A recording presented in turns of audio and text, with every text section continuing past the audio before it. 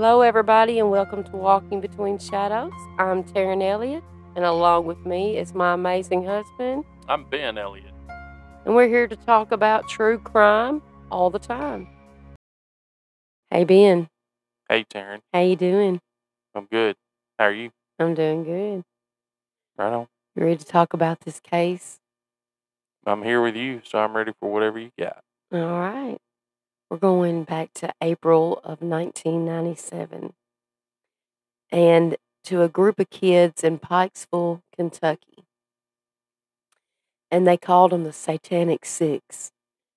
Do you, Yeah, do Sounds you, like fun. yeah, do you remember the 90s? Like the, the church burnings and the, uh, the kids that went around dressed like trench coat mafia and Yeah, but see, the 90s was such a drastically different decade because the church burnings happened in 93. And early 90s was coming off the 80s. And then you get to the late 90s and grunge had started and gotten really big. So you had all this trench coat mafia stuff, these goth dressing people that What did they listen to? Do you remember? I was not a member of the Trenchcoat Mafia, not the Trenton Trenchcoat Mafia. Yeah, I mean, as as much as I hate to admit it, and I love Nine Inch Nails, but there was a lot of Nine Inch Nails played in the late nineties. Did they listen to Pearl Jam, Probably a lot of Pearl Jam too. Nirvana, maybe? Yeah. Well, I listened to that. Yeah, uh, it's good music. Yeah, Right. it's good music, but eh, they just it was overkill. I mean, it was constant. Yeah, it was a lot of depression and goth and just people thinking it was cool to commit suicide, things like that. Mhm, mhm. And talk about death and dismemberment and nasty shit. Right. Yeah, satanic worship And, and there was a lot of little groups of people that were wannabe satanic people. Yeah, and, and I remember a dude that was a year older than me, and rest his soul, he's no longer with us. But he used to dabble in both sides of that. He every once in a while he'd want to get together and have a séance. You know, Yeah, it was yeah. Justin. Oh, okay. I know So, who you're talking about. Yeah, every once in a while he he it would be all right. Let's listen to some hip hop and and be urban cool. right. And then So the next was day it was like let's go have a séance and listen to records backwards and shit like that. what records were there that you could listen to backwards? Do you remember? I don't remember. I mean, he had them all. I mean, he Yeah. was real into that shit, but I, I don't remember. And I'm sure somebody hears this, they're gonna know, like, name them off, especially if they're in our age group. Right. So that that year I was well, I had two children already. Yeah, But yeah, I remember those times. Yep. Because I was still very young. yeah. And this was early '97, right? April of 1997, there was a group of kids hanging out in Pikesville, Kentucky. And they were a group of, I don't want to call them losers, but I'm going to call them losers. They So- sure turned out that way. Exactly. They uh they were they were self proclaimed satanic worshippers and occultists and so it was these six kids and the main ringleader would have been Natasha Cornett. Mhm. And she liked to spell her name backwards. So you can go through some places in Pikesville, Kentucky, and some bridges that she painted Uh-huh. or used to. Now, this was years ago. They've probably been painted over by now, where she would spray paint her name, A Satan. That means that she belonged to him. Oh, really, So, so cool. it's thrilling. It's kind of like Nevaeh, Yeah. What's that? heaven. Oh, you mean people have named kids Nevaeh There's lots of kids named Nevaeh. because it's heaven spelled backwards? Right. But Natasha is A Satan. But anyway, so this crazy bitch, she was into the occult and spelled her name backwards. Right. And she was also kind of a little runaround. So in this group, there was another there was another girl by the name of Karen Howell. And she was 17 years old. Natasha was 18. Jason Bryant, who was 14. Joseph Risner, who was 20. Crystal Sturgill, who was 18. And Dean Mullins, who was 19. And she ran through every one of those, I believe, except for Crystal Sturgill. I mean, every one of them. So So she was of the Lebesian persuasion She- for a while too. she she was of that. Wow. And so, you know, we talked about Crystal Pike last week. Mhm. She's a big buddy of Crystal Pike now up at Tennessee Department of Corrections. Oh yeah, Tennessee's death neat? row woman. Right. Yeah, We did that two weeks ago. hmm Wow. So we'll get into Right, that. right. So what was it about her and Christa Pike that happened? Well, there was like a a fire or something that broke out, and it got all the inmates, or three of them I know of, together, and that would have been Crystal Pike, Natasha Cornett, and another inmate. And I don't know what her name was. Do you? I don't remember. I can't remember either. Anyway, they they kind of attacked this one, Mhm. and I believe Crystal Pike stated she was taking up for her friend, Yeah. Which And she- would have been a Natasha. which would have been Natasha, Okay. and she almost killed this lady. Oh yeah, she choked the shit out of her, didn't she? She sure did with her shoelace. Mm. Quick on the draw. Mm-hmm. So Natasha was pretty much the ringleader of these of these people. And she would they would get together and have seances and and uh drink each other's blood, which is really cool, right? What? Well, that's what I that's what that's what they say. That's Oh, what that they did. Me want to throw up. Kind of nasty. So they go on April the fourth. Mm-hmm. These six go to a motel called the Collie. I believe it's called the Collie Motel Yeah. in Pikesville. Yep. And they're they're doing their seances and they're burning six six six in the carpet. I don't, I don't know how they did that. If they had a six six six brander, or maybe if they did it with like cigarettes. Yeah. Or lighter fluid. Neat. Mhm. So they did that, and then they cut each other and drank each other's blood, and they watched Natural Born Killers and decided they wanted to go on a road trip. Mhm. They were sick of this little town, nothing to offer. They were going to Louisiana. So yeah, thinking about the occult and the dark arts and the black magic, we're better to go than Voodoo Haven. Right. Mm. So, They didn't stay very long though, did they? well, no, they did not. They had a little, little issue, a big issue that they created. Yeah. on so they they spend the night there on the fourth on the fifth they go back to natasha's natasha's mother whose name is madonna Of the rocks.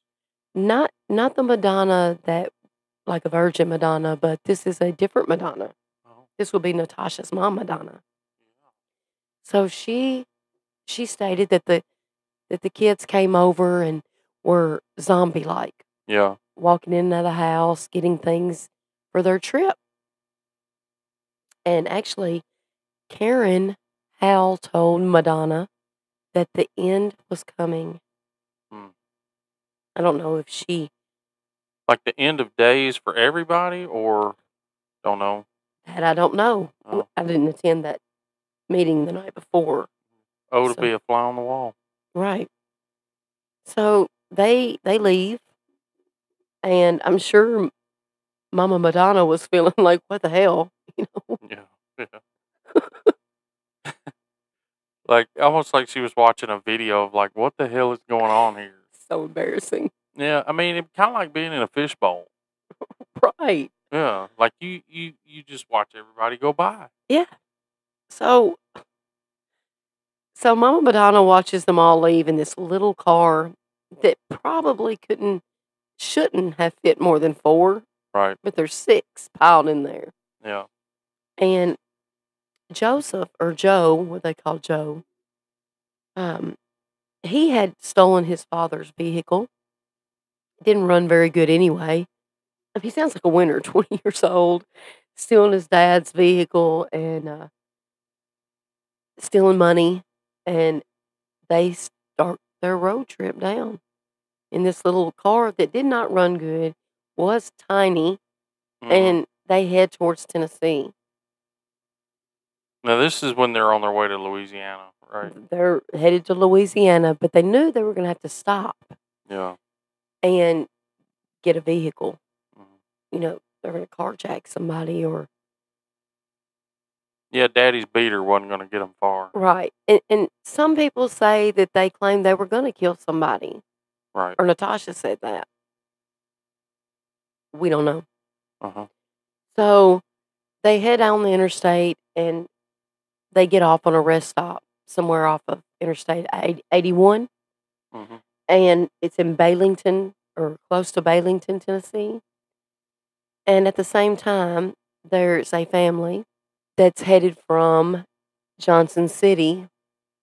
It's a Jehovah's Witness family, hmm and they came. They're coming from a conference from Freedom Hall, hmm and they were going to stop at this rest stop too. Where was Freedom Hall? Freedom Hall was a, a, a, a center like that had these conventions and conferences for religious or I'm not sure if maybe it's for anybody that wants to come rent out that space. I'm not sure. But it was in Johnson City, Tennessee. Oh, okay. Where they both were headed back towards Knoxville. In that vehicle or in that van was Vidar Lillelid and his wife Delfina, their six year old daughter Tabitha, and their two year old son Peter. hmm They also stopped at the same rest stop that the Satanic Six stopped at. hmm They were going to get out and let the babies get some fresh air and have a picnic and enjoy some time there together before they went back to their home in Knoxville. Yeah.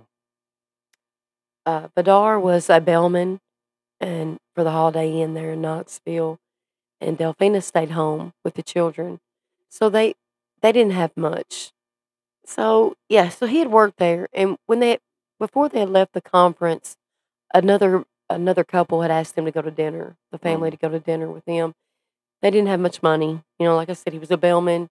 Delfina stayed home, so Mhm. they just decided to stop at this rest stop and feed the kids and give them some fresh air.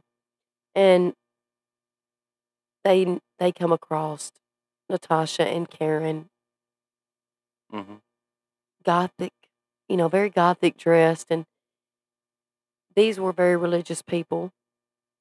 And they decided to approach the six and ask them to, uh, and, and Vidar asked them if they knew who God was.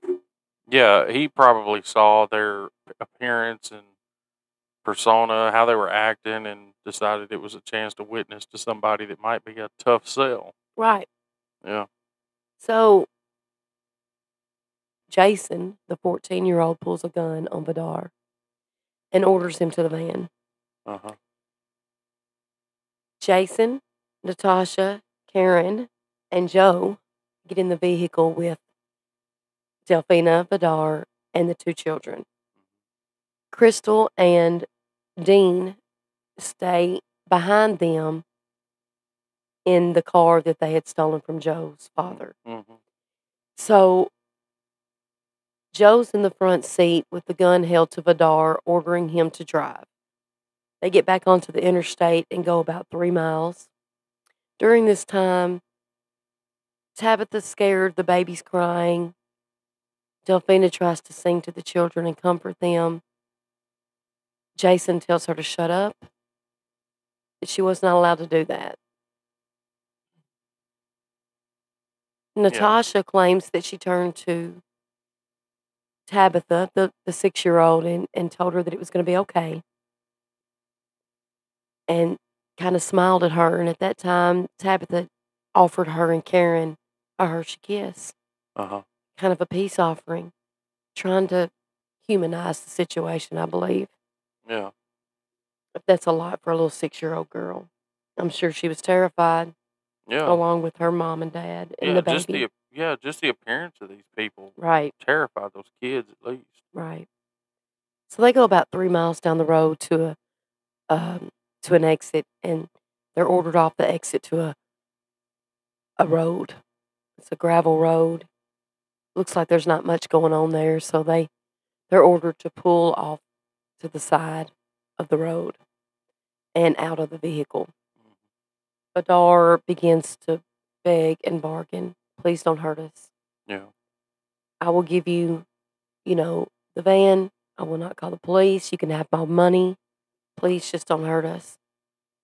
Jason had the gun pulled on them at that time. And Now Jason was the youngest of the whole bunch. right. And they had stolen two two guns from Joe's father. yeah. And one maybe from Dean's father. I'm not sure which one. But Sure. there was two guns. So there was a nine millimeter and there was a twenty five caliber. And I believe Jason had the nine Mm-hmm. and I don't know who and it's never been stated exactly who had the twenty five caliber Yeah. weapon. Yeah. But at that time Natasha jumps in between and says, Do not hurt the babies you mm-hmm. know, if, if somebody's got to die, it's not going to be the kids. You can shoot me. This is what she claims. Yeah. And in in her testimony, she was very shaken up. I mean, she was upset. But Well, that- she didn't look at sitting there though. no, she did not. That